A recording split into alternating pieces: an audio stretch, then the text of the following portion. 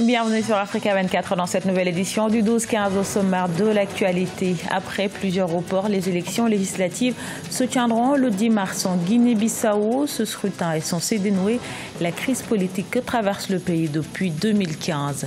En Tanzanie, les voyagistes appellent les autorités à réduire les taxes sur le secteur touristique local.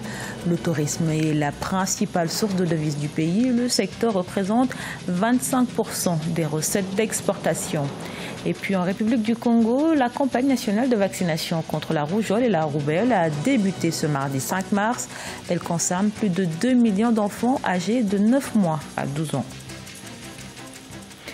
Vers la fin du suspense en République démocratique du Congo, les plateformes de l'ancien président Joseph Kabila et du nouveau chef de l'État Félix Tshisekedi optent pour un gouvernement de coalition. Le FCC et le disent favorables à la création de cette équipe. La semaine dernière, le nouveau président Félix Tshisekedi avait assuré que la majorité parlementaire restait à identifier alors que son prédécesseur Joseph Kabila l'a revendiqué pour sa coalition. Le FCC, un consensus a été trouvé et les deux partis ont annoncé la nomination à venir d'un formateur de ce gouvernement avec un Premier ministre issu de cette majorité parlementaire.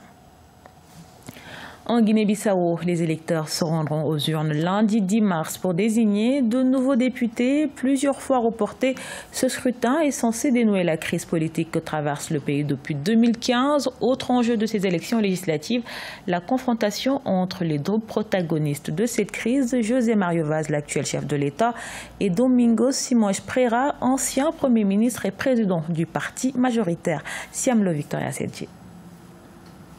Les législatives en Guinée-Bissau auront lieu le 10 mars dans un climat de tension et de méfiance. D'un côté l'opposition et de l'autre les nombreuses dissidences au sein du parti dont est issu l'actuel président José Mario Vaz, le Parti africain pour l'indépendance de la Guinée et du Cap-Vert, PAIGC, dirigé par Domingos Simon Pereira. Limogé le 12 août 2015 de son poste de Premier ministre, l'ancien allié du chef de l'État est aujourd'hui l'un de ses principaux adversaires. Difficile pour le président. Il sera encore une fois très vulnérable. C'est un président très précaire, aussi bien pour les actions ordinaires que pour euh, les, les échanges politiques qu'il pourrait briguer. La confrontation entre ces principaux acteurs de la scène politique bissau-guinéenne est un des enjeux majeurs de cette campagne. Le scrutin du 10 mars devrait remettre en jeu le mandat des 102 députés de l'Assemblée nationale populaire. Toutefois, le PAIGC, parti majoritaire, pourrait l'emporter et reconduire de facto l'ex-premier ministre limogé. Je pense qu'à un moment donné, il va falloir aller dans la Constitution pour voir le rapport de force entre le Premier ministre et le Président, ou peut-être entre euh, l'exécutif et le législatif, pour voir comment est-ce peut rééquilibrer ça. Depuis plusieurs mois, les frondes dans la sphère politique n'ont cessé de se multiplier. La Commission nationale électorale a récemment autorisé les électeurs dont les noms ne figurent pas dans le fichier électoral informatique du scrutin. Le PRS, parti du renouveau social, premier parti de Guinée-Bissau après le PAIGC, dénonce une tentative de fraude. 76 partis politiques ont été dissous en Mauritanie, une dissolution conformément à la loi sur les partis politiques. Votée l'année 2018, cette loi prévoit la dissolution de tout parti politique qui participe deux fois consécutives à une élection municipale sans atteindre 1% des suffrages exprimés. Ainsi, le pays ne compte plus que 28 partis au lieu de 107. Les formations politiques qui tombent sous le coup de la loi sur les partis appartiennent à la fois à la majorité et à l'opposition. Avec ses 4702 km de réserves animalières, la Tanzanie représente une destination de choix en Afrique de l'Est, mais les opérateurs installés dans le pays estiment que la surtaxation empêche l'essor de ce secteur, secteur qui représente 25% des recettes d'exportation. Les précisions de Nathalie Moore. Les voyagistes tanzaniens appellent les autorités à réduire les taxes sur le secteur touristique local. Dans ce pays, chaque tour opérateur est soumis à 32 charges fiscales annuellement, des impositions tarifaires pouvant atteindre 10 000 dollars et jugées lourdes par les acteurs touristiques.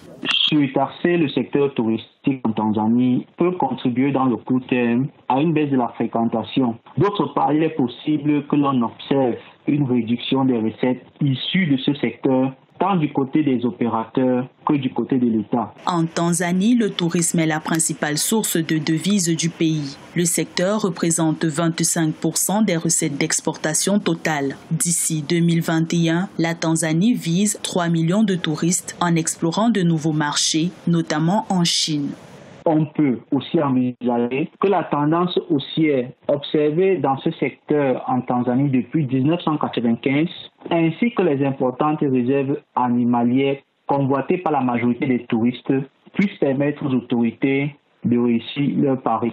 Selon la Banque mondiale, les revenus du tourisme en Tanzanie pourraient atteindre 16 milliards de dollars par an d'ici 2025. En République du Congo, le gouvernement s'engage à lutter contre la rougeole et la rubéole. Plus de 2 millions d'enfants âgés de 9 mois à 14 ans vont être vaccinés à travers la campagne nationale de vaccination. Le but de cette campagne de 2019 est de réduire d'au moins 20% le taux des enfants non vaccinés. Reportage à Brazzaville où la campagne a démarré ce mardi avec notre correspondant Deva Panzo. Le président de la République du Congo, Denis Sassou Nguesso, a officiellement lancé la campagne nationale de vaccination contre la rougeole et la rubéole ce mardi 5 mars 2019 à l'hôpital spécialisé mère-enfant Blanche Gomez à Brazzaville. Cette campagne qui court jusqu'au 9 mars 2019 va permettre de vacciner plus de 2 millions d'enfants sur l'ensemble du territoire national. C'est une maladie qui cause beaucoup de morts aux enfants. Donc nous voulons demander aux mamans d'amener leurs enfants au centre le plus proche pour leur faire vacciner, afin que de les protéger contre la rougeole et la rubéole. Cette campagne nationale de vaccination ne concerne que les enfants âgés entre 9 mois et 14 ans.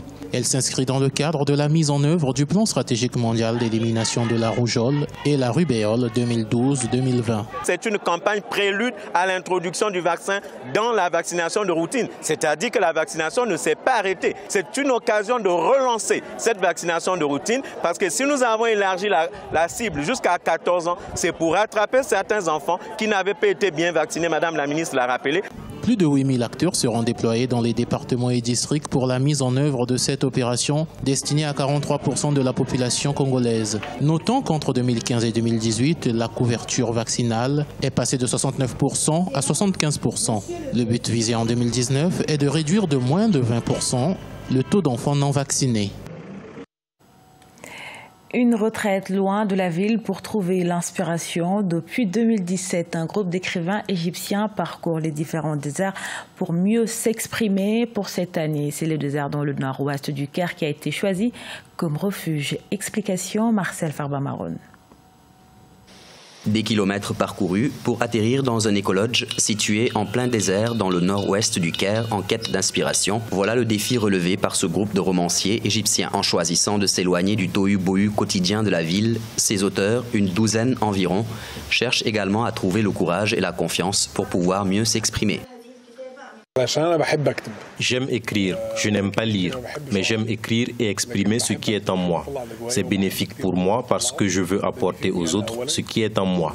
Ça apaise. Je veux faire ressortir toutes mes idées et les placer toutes devant moi. Cette retraite, loin de la ville, est pourtant devenue fréquente depuis 2017. Elle a, en effet, été pensée et conçue par la romancière égyptienne Ouda Anwar suite à une expérience personnelle lors d'une visite au mont Sainte-Catherine. J'ai compris la valeur de l'effet des lieux sur l'écriture lors de mes voyages à Sainte-Catherine. Mes voyages à la montagne et dans des lieux dépourvus de tout aspect artificiel ont eu un effet bénéfique sur moi, ce qui m'a fait prendre conscience de l'effet que tels endroits auraient sur d'autres personnes. 12 retraites au désert se sont déjà déroulées dans différentes régions d'Égypte avec la participation de près de 100 écrivains. En plus de la publication de près de 20 ouvrages, ces auteurs ont formé un club qui fournit une aide à la publication à de nouveaux membres.